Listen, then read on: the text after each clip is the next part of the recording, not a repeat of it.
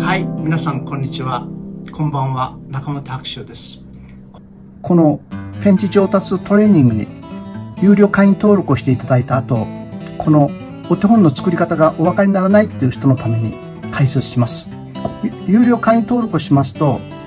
このこのような画面ですよね。このような画面が出てくると思うんですね。そして、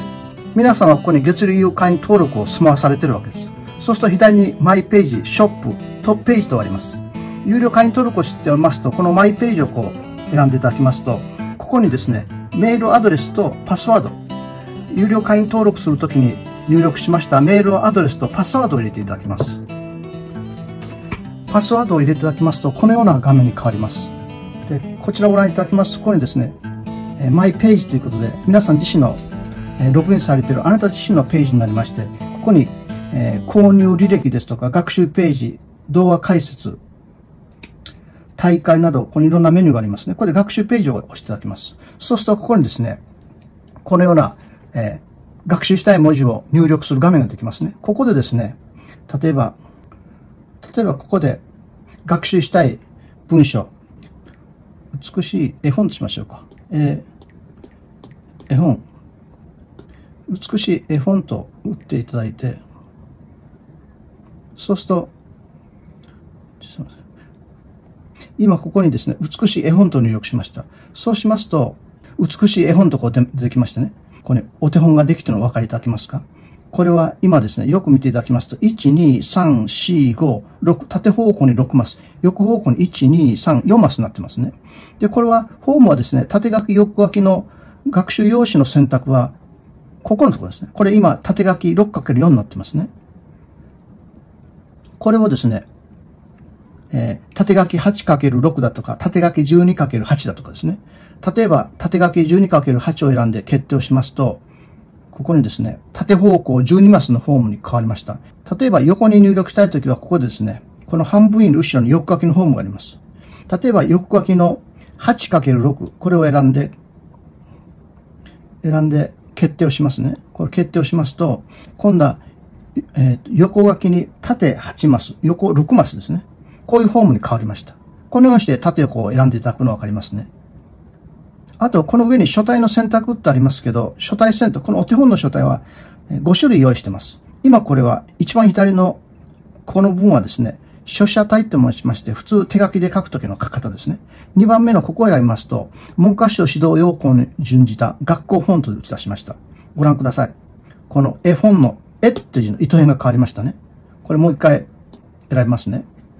これご覧ください。この絵本の糸辺に注目してください。この糸辺になってますね。この学校フォントの方選びますと、このように糸辺が変わりましたね。このようにして、えーフォントの選択。隣はですね、これは筆文字なんですね。筆で書いたお手本。こういうお手本ができます。そして、ここはですね、ペンの行書体、行書と総書を交えたような字を少し崩した書き方でここに紹介されております。そして、一番右端のここはですね、書き順フォントといって、えーここの文字に対して書き順を振っています。小学校6年生まで習う漢字について、えー書き順が振られています。ご覧ください。美しいお手本というのはすべて小学校6年生まで習う漢字だということですね。で、このようにして、えー例えば美しいっていう字を見ていただくと、こう、書き順が表示されておりますので、これを見ながら正しい書き順を覚えていくことも可能になります。このなぞり書きをオンにしますと、このようにですね、なぞり書き、ちょっとフォームをですね、もっと見やすいフォームの縦6マス、この、このフォームにして、そして決定をして、お手本もこれにしましょうか。今、美しい絵本と、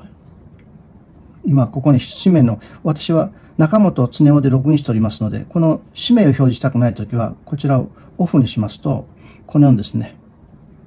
名前が消えます。で、今、これは、えー書写体の一番左端のフォントを選択して、そしてなぞり書きの練習をできるお手本を作成して、そして右隣に練習するっていうパターンです。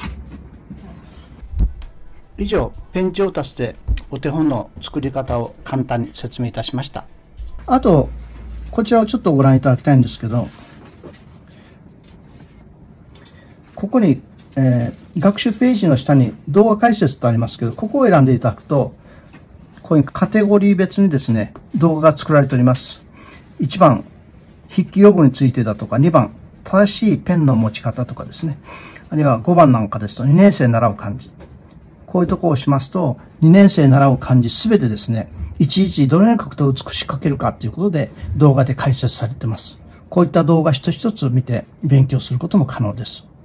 以上簡単ですけど、えー、学習ページの説明と動画解説について簡単ですがご紹介させていただきました。なお、大会されるときはこの左のこの大会のボタンを押して、えー、大会するを押すと、えー、会員、会員の大会ができるようになっております。以上、これでペン上達の使い方について簡単ですが紹介させていただきました。これで終わります。